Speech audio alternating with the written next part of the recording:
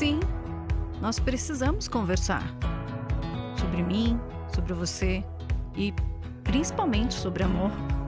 E isso não é para querer cuidar da sua vida. Isso é para cuidarmos um dos outros.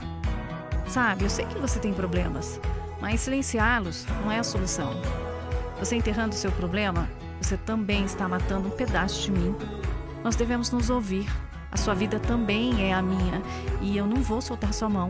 O que as pessoas, a internet ou a mídia falam não diz nada sobre você.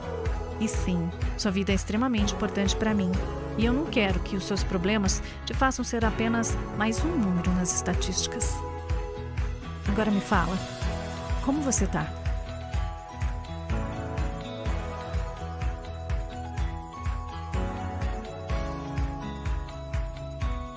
Prefeitura do Município de Interesse Turístico de Nazaré Paulista, construindo uma nova história.